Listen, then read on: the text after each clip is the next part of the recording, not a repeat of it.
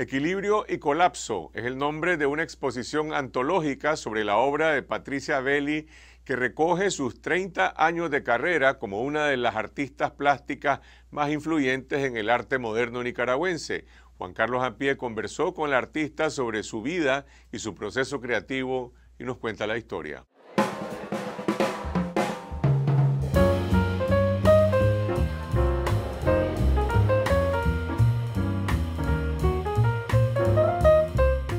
Patricia Belli es quizás la artista más influyente del arte contemporáneo nicaragüense. La prueba está a la vista, en una extraordinaria exposición abierta en el Centro de Arte de la Fundación Ortiz Gurdián en Managua.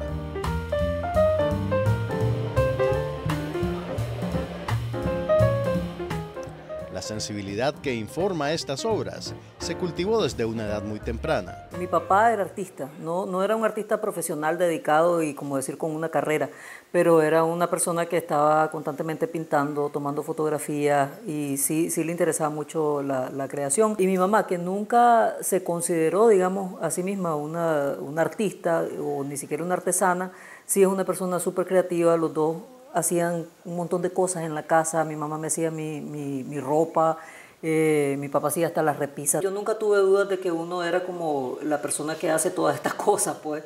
¿Te asustabas cuando ibas a las casas de tus amigos y, los papás no hacían nada? Y no hacían nada. ¿En qué momento decidís dedicar tu vida al arte? Yo llegué a la universidad pensando que iba a estudiar biología o premedicina. Y una carrera práctica. Una carrera relacionada a la investigación de la biología que siempre me ha interesado, me, sigue interesando a, este punto, pues me, me, encanta como la, digamos, yo tenía microscopios y tenía juegos de científicos y cosas así, sí, sí sigue siendo como, un, como uno de mis juegos favoritos, digamos. Pues entonces pensando en cómo convertir ese juego en una, en una profesión, eh, había pensado estudiar medicina. Eh, pero bien pronto me di cuenta pues que la medicina estaba bien alejada de lo que verdaderamente me interesaba y que esa investigación la podía canalizar en otras, en otras áreas. Ese interés como por, por conocer, pues, por, por, eh, entender cosas. Y um, tomé una clase de, de, fundamentos del arte, se llamaba, en que era como un poco de todo. Y a partir de esa clase me di cuenta de que estaba bien interesada en esta otra investigación. Muchas de tus obras se basan en tu dimensión íntima, en tu persona, en tu cuerpo. ¿Fue difícil exponerte de esa manera? ¿Experimentaste algún pudor? Mira, yo realmente no me imagino hacer arte de otra manera. O sea, eh, yo trabajo con lo más personal, lo más íntimo, porque es lo que conozco.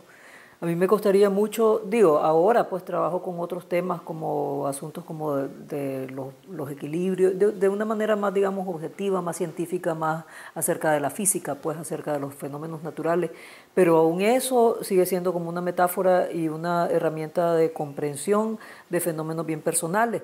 Yo no, no me imagino trabajar con cosas que, no, que, que me son ajenas, pues. Entonces no, no solo no, no, no, puede ser un, no puede haber un pudor en eso, sino que es la única forma honesta en que yo encuentro para trabajar. El curador Miguel López dice en su texto introductorio de la exposición, parece que Belli creara para reunir todas sus partes. ¿Qué pensamos de esa declaración? Me encanta la frase, me encanta la frase porque verdaderamente siento que, que no sé si yo o en general somos eh, fragmentados y dispersos eh, tanto por razones de información como por razones de cómo estamos constituidos fisiológicamente, em, entre esas dicotomías, esas oposiciones binarias entre eh, uno y el universo, eh, hombre-mujer, estamos, estamos desconectados, digamos, y, es bien, es como única la oportunidad que a veces tenemos como de volvernos a fusionar, ya sea eso, como entre una pareja o con uno mismo o con ah, eh, socialmente. Entonces, esa, esa, ah, el arte de alguna manera es un intento de esa reconexión. Con Vuelo Difícil vos ganaste la segunda Bienal de Pintura de la Fundación Ortiz Gurdián y eso te puso en el centro de una controversia con la vieja guardia del arte nicaragüense y las nuevas generaciones. ¿Cómo fue esa experiencia para vos? En términos emocionales fue bien difícil, fue, pues me sentí, fui realmente el blanco de un montón de eh, aversión, digamos, em, de parte de un montón de gente, de un montón de gente que, componían no solo la vieja guardia en términos, eh, digamos, de los artistas que habían tenido una relevancia anteriormente, sino también de personas jóvenes como los estudiantes de la Escuela de Artes Plásticas, liderados por los profesores de la Escuela de Artes Plásticas, que a pesar de que, de que, de que, era, de que eran realmente gente bien joven, pensaban de una manera que estaba vinculada a esa vieja guardia. Y no es, no es nada más una vieja guardia en el sentido de una, una forma de hacer arte, es un modelo de pensamiento, ¿verdad? Que, que, está vinculado a hacer arte, pero está vinculado a todas las cosas de la vida. La controversia inspiró a Belli para fundar un espacio que le permitiera compartir sus conocimientos. Así nacen los talleres para jóvenes artistas, que eventualmente darían fruto en la escuela Espira la Espora. No tenía ningún recurso, entonces no podía, una escuela era impensable, pues una escuela en el sentido de que unas instalaciones, una, un profesorado. Entonces lo que, lo que podía hacer era trabajar con mis propios recursos y lo que hice fue abrir un espacio en mi casa, pues con una convocatoria en los medios. Y eso fue pues bien incipiente, una cosa muy pequeñita que fue creciendo poquito a poco, que jamás se volvió gigante, ¿verdad? Jamás se volvió, pero sí se volvió importante en términos eh, significativos para el medio, pues de cómo fue cambiando la mirada. ¿Qué te queda a vos de esa experiencia? ¿Qué ganás? Bueno, gano amigos, ¿verdad? gano, gano una cantidad de gente que efectivamente, o sea, son, son mis amigos, son gente con la que puedo contar, que me puede eh, hablar de sus trabajos y de, y de mis trabajos y, o que podemos hablar de cualquier cosa, ¿me entiendes? Porque no se trata nada más hablar de arte, pues es hablar de, de, todos los fenómenos de la vida. Digo, eso es lo que yo gano a nivel muy subjetivo, pues, pero creo que todos salimos ganando porque hay, unas, hay, hay, una, hay una producción artística que ahora puede venir un curador y hay eh, un, un, cuerpo de trabajo que mostrarle y un cuerpo de artistas que, que mostrar. Hablemos un poco de tu proceso. Vos has trabajado en muchísimos medios. ¿Cómo sabes ¿Qué forma va a tomar una idea? Yo creo que yo soy sobre todo escultora. O sea, mi trabajo con el espacio es como lo que, lo que me motiva a trabajar. Y luego en ese proceso, porque muchas de las ideas y de, y de las soluciones vienen de el trabajo con el material, parto de, ver cómo se comportan esos materiales y cómo eso me genera una metáfora que se alimenta a su vez de mis otras preocupaciones vitales, ¿verdad? Entonces, eh, normalmente ese es el camino. O sea, veo algo en la calle, veo algo en mi propio taller y digo, ala, eso es, eso es la flexibilidad, ¿me entendés? O eso es la vulnerabilidad, lo estoy viendo, pues. Entonces lo que hago es aclarar esa idea en una cosa que ya es más, más depurada. Pero a veces em, esa idea me lleva a otra idea.